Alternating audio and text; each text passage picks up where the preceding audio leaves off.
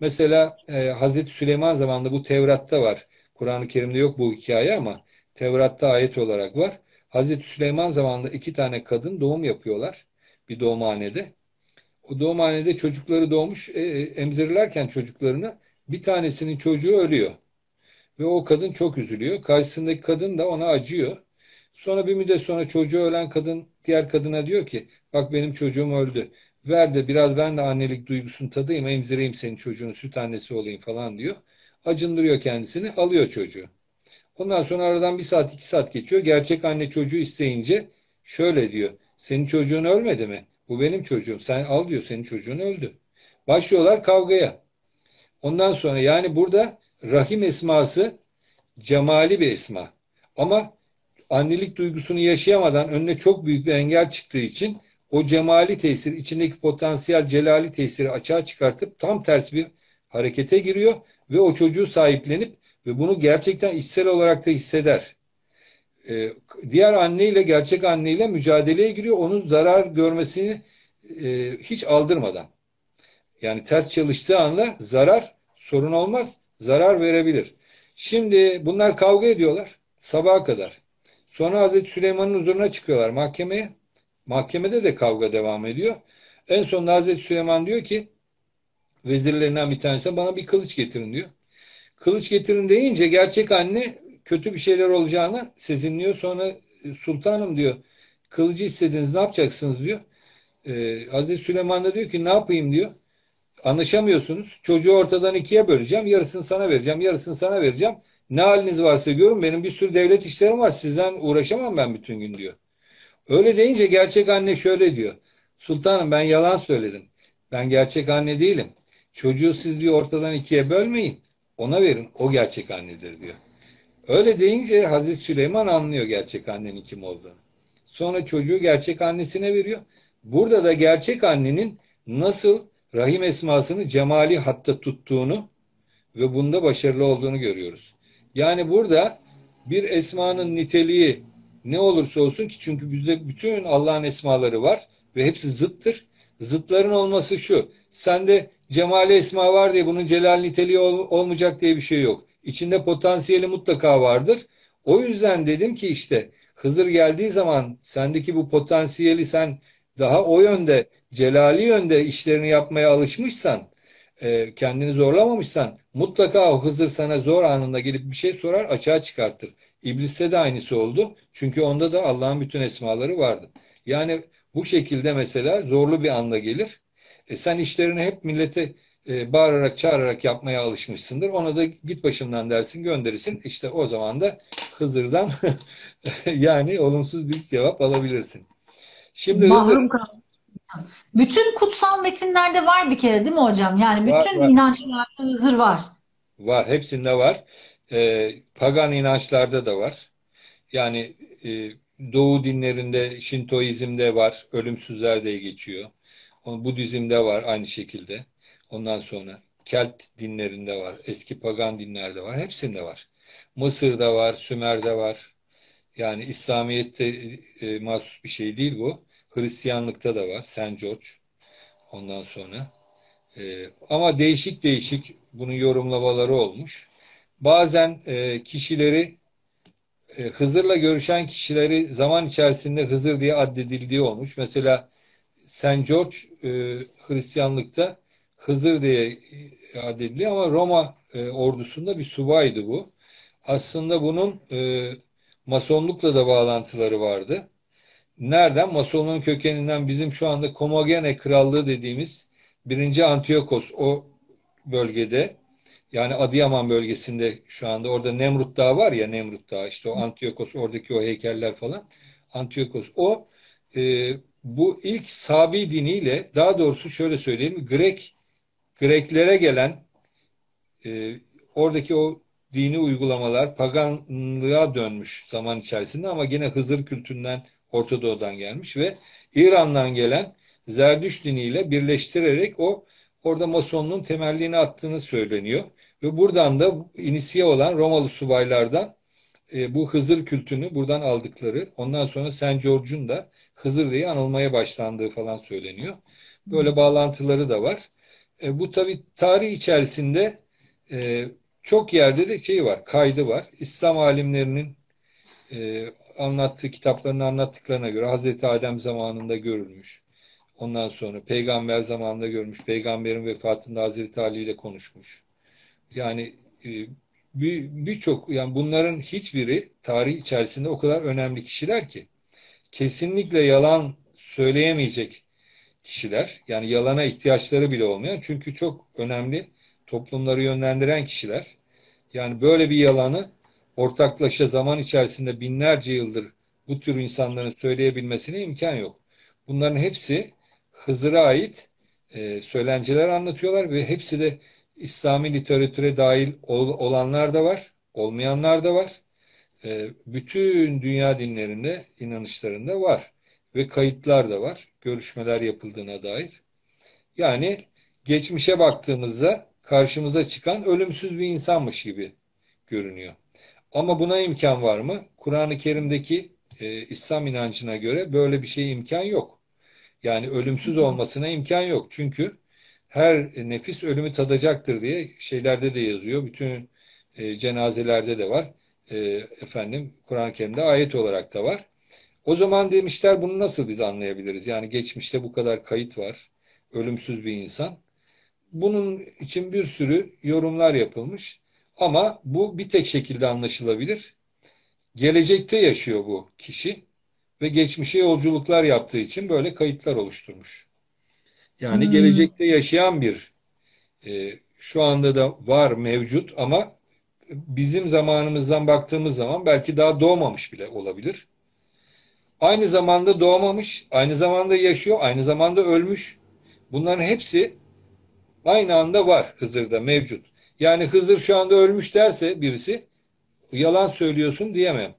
Ama şu anda yaşıyor derse ona da yalan söylüyorsun diyemem. Şu anda daha doğmamış derse ona da yalan söylüyorsun diyemem. Çünkü gelecekte yaşayan bir kişi ve geçmişe yolculuklar yapan bir kişi zamanın her aşamasında görülebilir. Ama gerçek yaşamı bizim daha öldüğümüzden sonraki yıllarda onun doğup da yaşadığı bir zaman içerisinde oluyor. Benim yorumum böyle. Ancak bu şekilde olursa yerli yerine oturup anlaşılabiliyor. Tabi e, tarih içerisindeki serüveninden e, birçok Hıdrellez şenlikleri veya halk söylenceleri çıkmış. Buralarda da e, işin doğası gereği abartı çok. Efsanevi tarafını abartarak yansıtmışlar. İşte suyun üstünde yürürdü, havada uçardı, şuydu buydu falan şeklinde.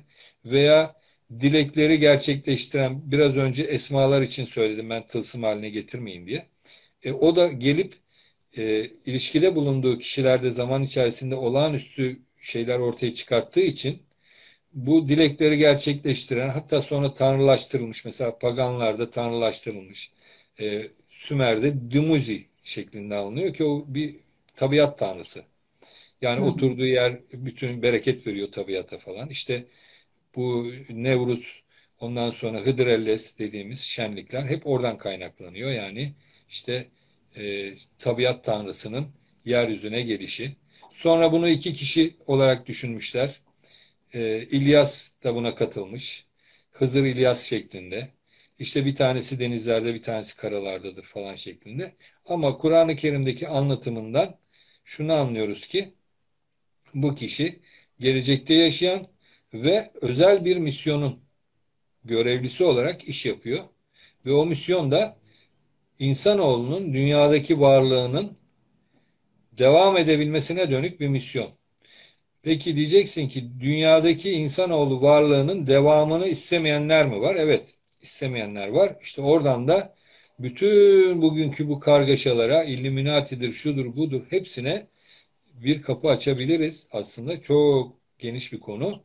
Yani dünyada insanoğlu denilen tür dünyadan kalksın, gitsin, defolsun diyen ve bunun için bütün kötülükleri planlı bir şekilde yapmaya çalışan bir galaktik sistem var ve bunun karşısında insanoğlunu da koruyan Hızır Zülkarneyn dediğimiz böyle galaktik bir ayrı bir sistem de var.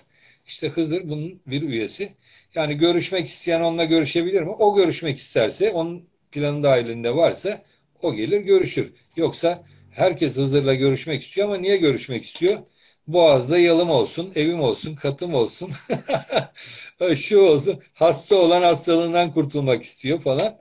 Şimdi bunların hepsi olabilir, yapabilir de bunları ama e, sen bireysel şeylerin için o sana gelip de seninle uğraşmaz. Ama senin sistem içinde bir ağırlığın, özgür ağırlığın varsa mesela bugün ben sıradan bir insan olarak yaşıyorum ama benim beşinci nesil torunum çok önemli bir şey yapacak. Ve bu fark edilmiş diyelim. O beşinci nesil torunu ortadan kaldırmaya, onu zorlamaya çalışıyorlar, yok etmeye çalışıyorlar. O zaman işte Hızır benden gelip muhatap olabilir. O beşinci nesil sonraki torunumun korunması için bana başka bir güzergah yani sen işte bu kitap işlerini bırak şu işlerle ilgilen diyerek bana başka bir şey açabilir. Kulvar açabilir. Beni korumaya almak için açabilir. Bu şekilde yapabilir mesela. Veya bir çocuk vardır. E, dağda bayırda karın kışın altında hiç okuma imkanı yoktur ama çok zekidir. O çocuğun İstanbul'a gelip okuması gerekir. Ona onun yolunu açabilir. Ona bir hazine buldurur. Başka bir şey yapar. Başka bir zorlamayla da yapabilir bunu. Destek olarak da yapabilir. Ama sonuçta o çocuk İstanbul'a gelir, okur, büyür ve Türkiye'nin başına geçer. Mesela böyle diyelim. Bunun gibi şeyler. Ee, Anladım. O, Sistemi koruyor. Yani Tabii. siz hani bu konuyu çok araştırdınız. Bütün kadim metinlerde hepsinde bir araştırdığınız için şey soracaktım. Çağırmanın bir yolu var mı? Ulaşımın, iletişimin bir yolu var mı hocam diyecektim size ama yok öyle bir şey dediniz zaten. Yok. Öyle bir şey yok. Ee, yani onun e, şeyde de var bu. E, yani batıda da var. İşte e, bir şehre geldi. Hatta onlar birkaç kişi öyle meleklerle beraber geldi falan. Kaldılar. Bütün hastalıkları hani bu salgın zamanı falan insanlar çok zor kaldığı zaman böyle şeyler üretmişler. İşte geldi şehirdeki herkesin hastalığını iyileştirdi, şu oldu, bu oldu falan diye. E işte şu yolla çağırdık, bu yolla çağırdık. Ee, hmm, yani böyle orada, Evet yani çağırmak e, şu yani Allah'tan e, dua etsinler Hızır'la beni karşılaştır diye. Ama Hızır'la karşılaşınca Hızır onlara ne yapacak belli değil yani. E, Hızır gelir de sen tanıyacak mısın, tanımayacak mısın? Yani onun için sorun değil. Şu anda aynı an içerisinde şu anda Türkiye'deki bütün insanlara gelebilir. Dünyadaki bütün insanlara da aynı an içerisinde gelebilir. E peki bu bu kadar 7 milyar insan var. 7 milyar Hızır mı var? Yok. Aynı an bu zamanla ilgili bir şey. Zamanla ilgili bir şey. Aynı saniyeye ayarlarsan zaman makineni tekrar tekrar tekrar tekrar gider hepsiyle görüşürsün. Ama hepsi de aynı an içerisinde olur. Bu zaman işi çok acayip bir şey. Yani şöyle söyleyelim. E, kainat ikiye ayrılıyor. İki tane gerçeklik oluşuyor. Nasıl oluyor bu? Mesela bir tane yıldız var. Oradan ışık bize 5 milyar senede geliyor. Biz öyle zannediyoruz. Ama aslında ışık hızında yani ışık hızına ulaşınca bu bilimsel olarak kanıtlandı. Bir cisim ışık hızına ulaştığında zaman yavaşlar ve ışık hızında zaman sıfır olur. Hiç zaman geçmez. Yani ışığın kendisi için zaten zaman geçmiyor. O orada yıldızda yayınlandığı anda bizim burada. Işık için hmm. böyle.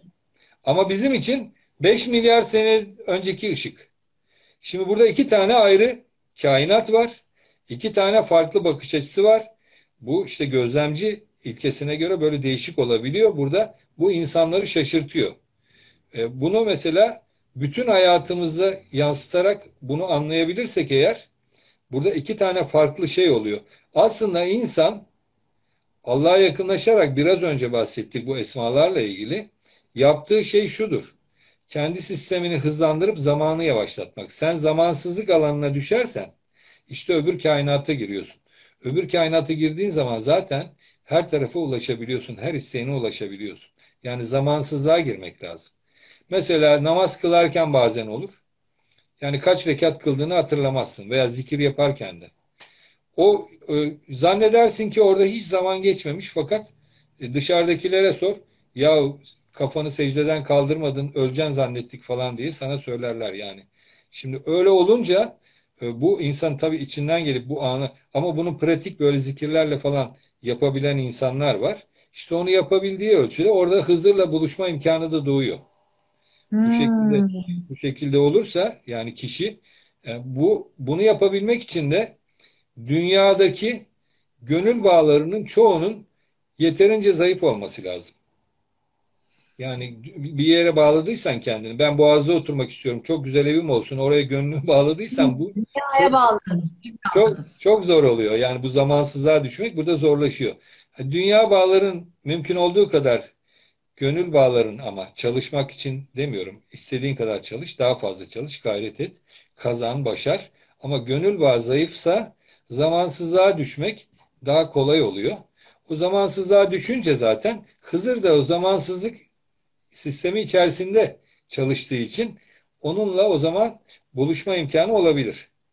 O kadar Ben şöyle, çocukluğumdan şöyle bir şey hatırlıyorum. Yani hıdrellezi resimler yapardık. Bir de yonca işte diyelim bir saksı yoncamız var ya hocam. Yoncamız dört yapraklı çıkarsa aa şey derdi annem. Hani Hızır gelmiş ziyaret etmiş bizi görmüş resimlerimizi falan. Böyle bir şey yani işte. Bin türlü versiyonu vardır bunun eminim herkes yazar. Tabii tabii. Bizim de evimizin bahçesi vardı. Gül ağacı vardı. Gül ağacının dallarına biz asardık çocukken. İşte Hmm. ne istiyorsun? Ben mesela bisiklet istiyorum. İşte kardeşim başka bir şey bebek istiyor falan bir şeyler asıyor. Resmini yapıyoruz, asıyoruz. Gece uyuyuncaya kadar böyle gözümüzden uyku düşüyor. Hızır geldi mi gelmedi mi diye bahçeye bakıyoruz. Ondan sonra uyuyoruz. Sabah kalkınca bakıyoruz.